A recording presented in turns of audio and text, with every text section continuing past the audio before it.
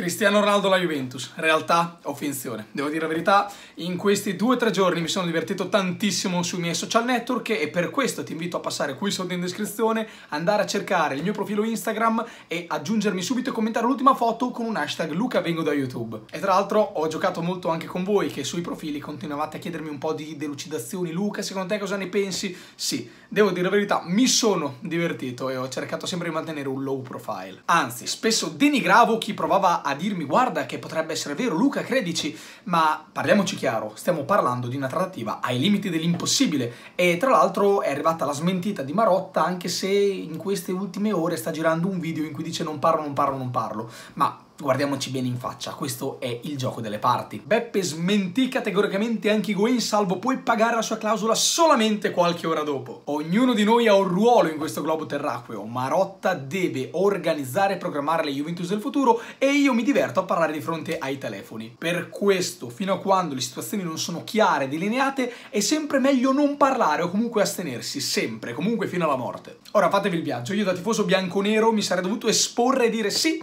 Cristiano Ronaldo alla Juve è possibile con un altissimo rischio di fallimento dell'operazione, perché stiamo parlando comunque, ripeto, di un'operazione ai limiti dell'impossibile con tutte le conseguenze del caso? No, grazie. Ricordate sconcerti? Alla Juventus Cristiano Ronaldo farebbe panchina o Pistocchi, Cerci mi ricorda Robben. Ecco, sono passate la storia con quei tormentoni e per sempre rimarranno lì. Io non voglio sicuramente diventare un meme vivente. Ora capite perché è sempre doveroso andarci piano, è stata una presa di posizione anche per salvaguardare la mia immagine. Ora adesso voglio essere sincero e raccontarvi tutta la verità di quello che penso che sia l'affare Ronaldo Juve. Diffidate dai tanti video che sono visti in queste ultime ore di persone che stanno continuando a fare video di calciomercato anche per annunciare il ritorno al calcio giocato di Sossi Aruta.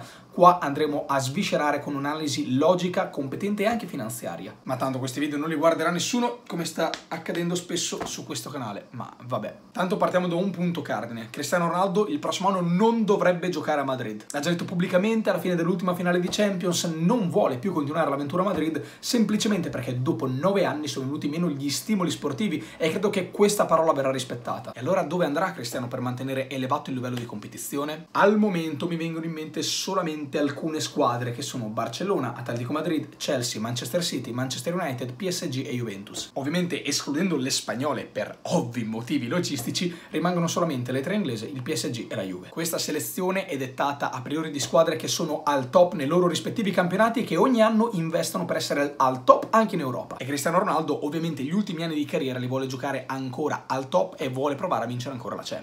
Di queste mi sento di escludere anche Chelsea e Manchester City perché comunque Ronaldo non ha bisogno di andare a prendere tutti quei soldi in più che potrebbero offrirgli queste società inglesi perché ovviamente ha lasciato un ottimo ricordo al Manchester United e Cristiano Ronaldo è un giocatore diverso da tutti gli altri, di soldi non ne ha bisogno e delle due prende qualcosina anche in meno ma lascia intatto il ricordo bellissimo che ha lasciato nella mente dei Red Devils. Attenzione perché da qualche giorno sta girando questa voce secondo la quale la clausola di un miliardo di Cristiano Ronaldo è stata abbassata, 120 milioni di euro che potrebbe non valere per le inglesi, quindi togliamo anche il Manchester United oltre al discorso logico che abbiamo fatto per il Chelsea City, e potrebbe non valere per le spagnole, ma vabbè, quelle le avevamo già escluse, e potrebbe non valere per il PSG, perché direte voi? Perché? È una cosa che non ci sta, allora per forza rimane sulla Juve. E invece no, e invece no. Ovviamente tutte le squadre citate sono squadre ricchissime, con uno sceicco dietro, non come la Juventus, sono squadre ricche, ricche, ricche, petrol-dollari, dollari che arrivano da ogni parte, insomma c'è sempre qualcuno che ci butta dentro capitale. E allora il Real Madrid giustamente dice se posso vendere a una di queste squadre, 120 milioni non mi bastano. Cristiano, se vuoi andare da qualche altra parte non c'è problema, puoi andare tranquillamente. In quel caso dovrebbero sborsare il famoso miliardo di clausola, che è sicuramente più difficile da pagare rispetto a 120 milioni. Non ci sono ufficialità per questa notizia, quindi prendetela sempre con le pinze. Eppure il discorso fila liscio come l'olio. Chi rimane in questo caso? Solamente la Juve. Ecco il perché di tante chiacchiere in questi giorni. In realtà si potrebbe inserire anche il Bayern Monaco, ma storicamente il Bayern non ha mai speso queste cifre per un giocatore mai. Ora magari dirò una cosa molto impopolare per i miei rivali e dirò una cosa molto popolare per i miei fratelli bianconeri. La Juventus negli ultimi anni è riuscita a costruire un'immagine europea veramente vincente, come aveva una volta. Il tutto nasce dagli uffici, dall'organizzazione di Agnelli, di Marotta, di Nedved e tutto viene convertito in campo grazie agli ordini di Allegri. La Juve è stata proiettata prima a Berlino e poi a Cardiff, perdendo entrambe le volte, quindi ancora il progetto di vincente non è completato. Ovviamente non hai mai vinto. Non ripeterò le imprese di Allegri perché l'ho fatto in un video uscito poco tempo fa nel canale che vi lascio qui sopra nelle schede, ma sicuramente la Juventus all'estero ad oggi è vista come una squadra d'elite. Questo non vuol dire che Cristiano Ronaldo verrà sicuramente alla Juventus perché ovviamente non è vero, però sicuramente qualcosa è successo, ci sono stati troppi spifferi e da troppe parti, troppe conferme, troppe chiacchiere, troppe fonti estere che si sono appassionati alla cosa.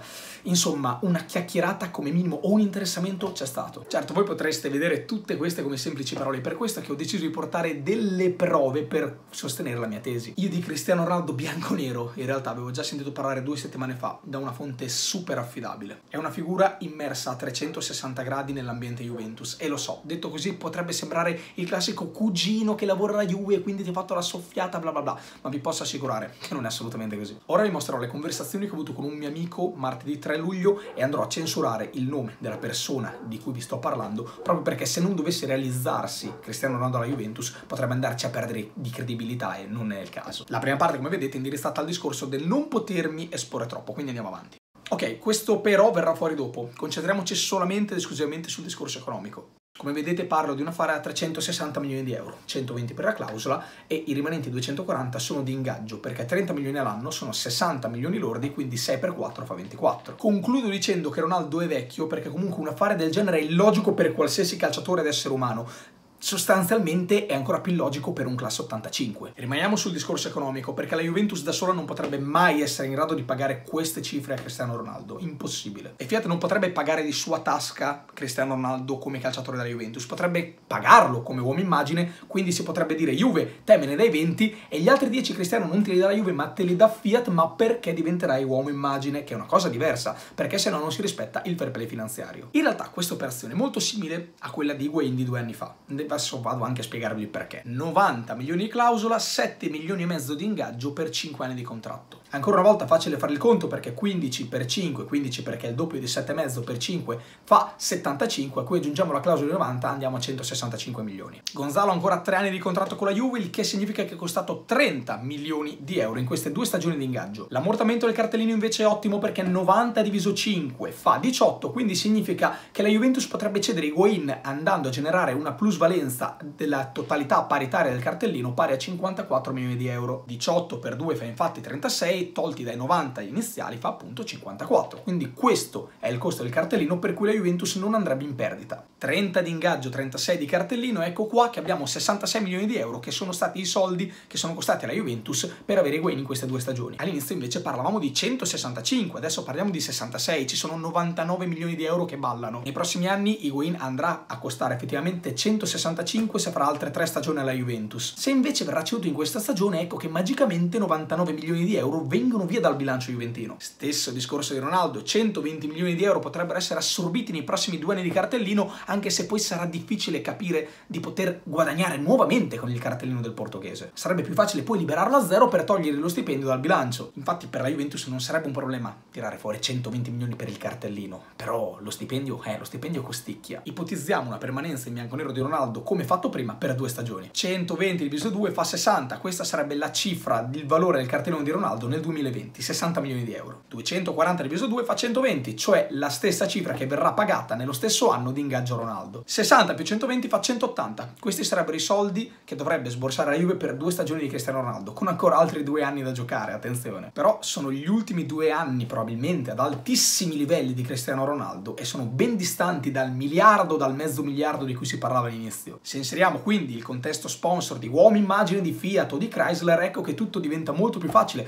senza contare che cedendo Higuain andremmo a liberare il suo ingaggio dal bilancio della Juventus. Ecco, sicuramente senza cessioni pesanti come Higuain questa cosa non si potrebbe attuare, ma non tanto per il cartellino, ma per gli ingaggi, quindi Higuain è il giocatore che prende di più in rosa ed è il giocatore che andrà ceduto in questa sessione di mercato. Come detto prima, la Juventus ha dimostrato in Europa di essere al top, ma non al top come Real Madrid, Barcellona e Bayern Monaco. Le ultime due vanno in intermittenza differenza. Ce l'hanno in cui sono imbattibili e fenomenali e gli altri anni in cui sono abbastanza discontinui. Il Real invece nelle ultime tre stagioni non ha praticamente mai sbagliato. L'unica squadra che è stata in grado di mettere in difficoltà è stata la Juve quest'anno al ritorno al Bernabeu quando vinceva 3-0, quando poi ha preso il rigore proprio di Ronaldo all'ultimo minuto. Invece negli ultimi quattro l'unica squadra in grado di eliminarla dalla Champions è stata proprio la Juve. E quindi ovvio, considerare che Cristiano Ronaldo possa perlomeno prendere in considerazione la Juventus come prossima destinazione. Questa invece è la conclusione del tutto, lo dico tranquillamente. Non sarei stupito di vedere Cristiano Ronaldo con la maglia della Juve la prossima stagione. Sicuramente continuerò a crederci, mantenendo comunque low profile, come detto prima, per convenienza. Come avete visto abbiamo seguito dei semplicissimi ragionamenti logici senza mai forzare il discorso, o almeno non mi è sembrato, fatemelo sapere qui sotto nei commenti se è successo. Sportivamente credo che anche Cristiano possa essere affascinato dall'idea di portare a Torino quella coppa che ormai ormai manca davvero da troppo tempo. Cambiare per trovare nuovi stimoli non è mai un male, anche se ormai credo che Cristiano possa essere considerato una bandiera blanca. Pure, come abbiamo visto, anche di recente, le storie non sono sempre a lieto fine. Bonucci lo scorso anno ha salutato la Juve ed è andato al Milan, forse anche per colpa dei gol di Ronaldo contro la Juve a Cardiff. La pazienza ormai per Leo era finita, l'ambiente non era neanche più tanto bello e quindi ha deciso di fare questa scelta. Ha lasciato la squadra più forte per una squadra meno forte e in questo momento dico la mia, non, sicuramente non è soddisfatto della scelta fatta. Stessa cosa che sta per fare Ronaldo, lascia una squadra più forte per una meno forte senza alcun diritto, senza alcuna certezza di fare la scelta giusta. Certo, perché l'acquisto di Ronaldo non sarebbe mica sinonimo di Champions League matematica per la Juventus, per l'amore del Signore, se qualcuno sta pensando questo, che vada a farsi un giro, c'è il sole, beh, deve respirare aria fresca. Lo stiamo vedendo in questi mondiali, le sorprese sono dietro l'angolo, il calcio è bello soprattutto per questo. La Juve sta sicuramente cercando di alzare l'asticella e un colpo del genere la metterebbe davanti ad ogni club nel mondo. Il fatturato infatti si alza anche in questo modo, andando a comprare i giocatori più famosi. Infatti Cristiano Ronaldo è il calciatore più famoso e seguito al mondo e forse anche uno dei personaggi pubblici più seguiti sui social. Quindi non solo sportivamente, ma anche sotto il profilo social marketing sarebbe un affare incredibile.